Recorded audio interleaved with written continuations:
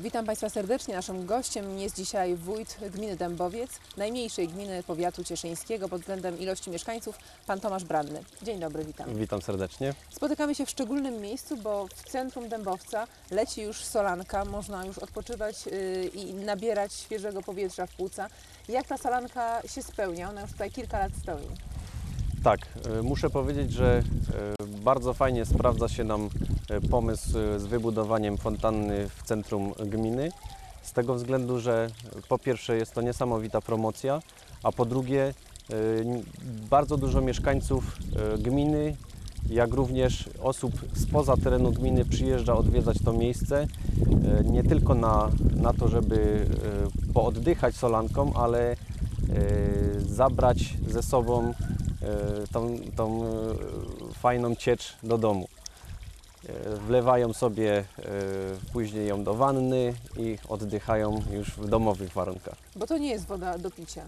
Nie, to nie jest woda przeznaczona do picia, zresztą taką tabliczkę musieliśmy tutaj umieścić, bo czasami niektórzy próbowali i leczyli się, e, że tak powiem, od środka.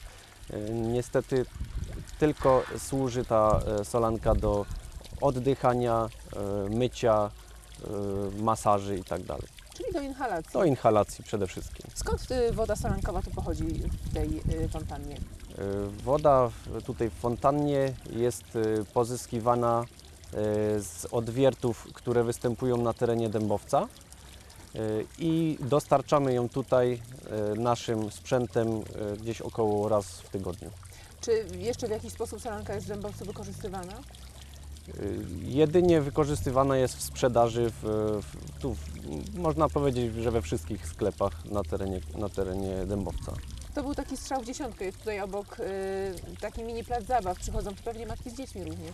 Tak, muszę powiedzieć, że, że to się nam bardzo tutaj sprawdza, e, dlatego że mamusie sobie tutaj właśnie oddychają jodem, a dzieci bawią się na placu zabaw i bardzo fajnie to współgra. Dzięki tej w sumie niewielkiej inwestycji y, zmienił się zupełnie, y, zmieniło się zupełnie centrum y, Dębowca. Już tutaj się coś dzieje, już tutaj warto przyjść. Zatrzymują się nawet u Was turyści, tak? Tak, zatrzymują się turyści. E, Ja namawiam e, mieszkańców do tego, by inwestować również w agroturystykę, z tego względu, że coraz więcej gości nas odwiedza i nie mają e, bazy noclegowej, żeby z, niej skorzystać i wyjeżdżają od razu e, na następny, znaczy w tym samym dniu. A jeżeli e, takiej bazy noclegowej będziemy mieli więcej, e, na pewno zostaną i skorzystają tutaj z naszych różnych usług, dóbr. Obok Was jest bardzo duża konkurencja, bo Wisła, Ustroń, Brenna to są miejscowości, wydało, wydawało się, że turystycznie nie do przebicia. Czym Dębowiec chciałby tutaj turystów skłonić do przyjazdu? Przede wszystkim spokojem i ciszą.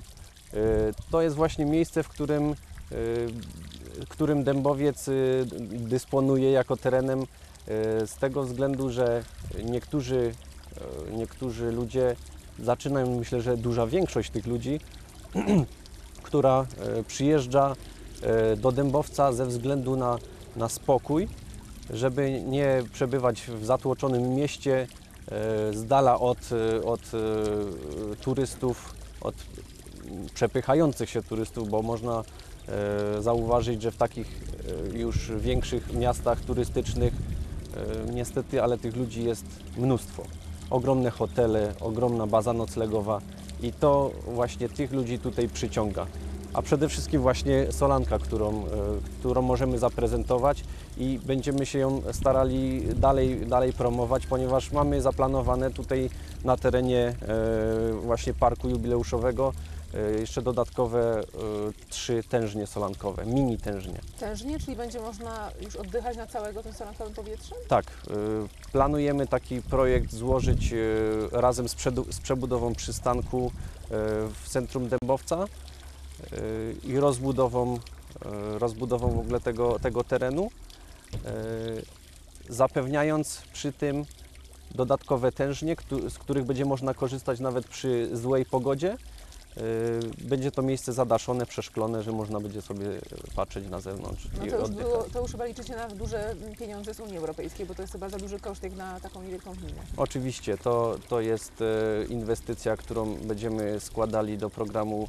rewitalizacyjnego i e, na dzień, dzisiejszy, na dzień dzisiejszy czekamy na ogłoszenie konkursu będziemy cały ten projekt składać, który mamy już zwizualizowany, a w tej chwili trwają prace e, projektowe.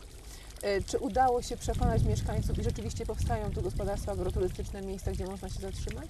Tak, e, muszę powiedzieć, że e, jest już kilka projektów, które są w trakcie realizacji. Kilka projektów dopiero zaczyna nabierać mocy, że tak powiem.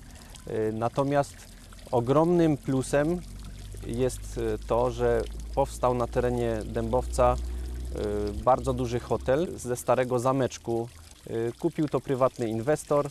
Na dzień dzisiejszy mamy hotel, który startuje na e, trzy gwiazdki. Można również korzystać z masaży solankowych, z masaży, kąpieli solankowych, solarium i tak dalej. Bardzo, bardzo nam to również pomogło. Czyli takie mini spa w centrum Dębowca. Już nie musi się Dębowiec wstydzić, że nie ma gdzie przenocować swoich gości, że nie ma gdzie zaprosić. Tak jest. E, W jaką stronę gmina właściwie zmierza? Bardziej w stronę tego, żeby zachęcać e, turystów, żeby tu przyjeżdżali, czy żeby Wam się tu po prostu lepiej żyło, wygodniej, ciekawiej? Nie jesteśmy w stanie na tyle na dużej ilości turystów tutaj ściągnąć, żeby e, mieszkańcom to przeszkadzało. Chodzi o to, żeby po pierwsze zabezpieczyć dobry byt samych mieszkańców, a sprawą drugorzędową są turyści, którzy, którzy na pewno do nas przyjadą, e, skorzystają e, z naszych e, usług. Chciałam zapytać w związku z tym o nowych mieszkańców, bo przejeżdżając przez Dębowiec widzi się całe mnóstwo nowych domów i, i miejsc, gdzie po prostu ludzie się osiedlają, gdzie wcześniej były pola uprawne, a teraz, a teraz powstają takie mini kolejne osiedla. To pewnie też pozytywnie wpływa na, na gminę, na budżet gminy. Tak jest, bardzo zależy nam na tym, żeby jak najwięcej mieszkańców przyciągnąć do naszej gminy. W związku z tym również, że, że jesteśmy gminą, która ma najmniejszą y, ich ilość. Y, Stwarzamy takie warunki, żeby można było się jak najszybciej wybudować y, i zamieszkać na terenie Dębowca. Dlatego jesteśmy również w, w trakcie y, opracowywania planu zagospodarowania przestrzennego na terenie gminy. W Dębowcu wybudować się łatwiej, nie wiem, taniej, jakieś, jakieś ulgi z gminy? Prywatne osoby niestety nie mają, nie mają takich ulg, ale myślę, że jest to na tyle urocze miejsce, że każdy, kto tu przejeżdża, to z miłą chęcią by tutaj zamieszkał. Jakie najważniejsze są inwestycje planowane na ten rok? Czy, czy już y, rozpoczęliście pracę na jakichś najważniejszych inwestycjach dla Was? Najważniejszą inwestycją y, w roku 2010 y, będzie kanalizacja na terenie Dębowca, ponieważ brakuje nam właśnie y, zabezpieczenia mieszkańców pod tym względem. Po drugie, y, no nasze ukształtowanie terenu, jak i rozłożenie, y, rozłożenie budynków jest na tyle trudne, że potrzeba na wybudowanie kanalizacji bardzo wielkich środków. Udało się nam pozyskać e, z Unii Europejskiej, e, z programu rozwoju obszarów wiejskich niecałe 4 miliony złotych i w związku z tym będziemy ruszać w tym roku e, z kanalizacją praktycznie głównej ulicy, bo ulicy Cieszyńskiej, Szkolnej, Rzecznej. Utrudni to y, komunikację, y, przejeżdżanie przez, przez, te, przez te miejsca? Raczej nie. Kanalizacja, budowa kanalizacji raczej na komunikację nie wpływa. Bardziej na komunikację będzie wpływała następna inwestycja, o której chciałem powiedzieć. Yy, Jest to yy, chodnik wraz z kanalizacją deszczową wzdłuż, ulicy Cieszyńskiej yy, od wspólnoty mieszkaniowej aż, aż do centrum. Chcemy mieszkańcom udostępnić bezpieczny, bezpieczne przejście z domu do szkoły, z domu do kościołów, ponieważ akurat przy tej ulicy mamy kościół ewangelicki i katolicki, więc y, myślę, że to, że to jest y, inwestycja, na którą bardzo wszyscy mieszkańcy czekają. W takim razie Gminie Dębowiec życzymy raz jeszcze powodzenia i dziękuję za dzisiejsze spotkanie. Dziękuję serdecznie.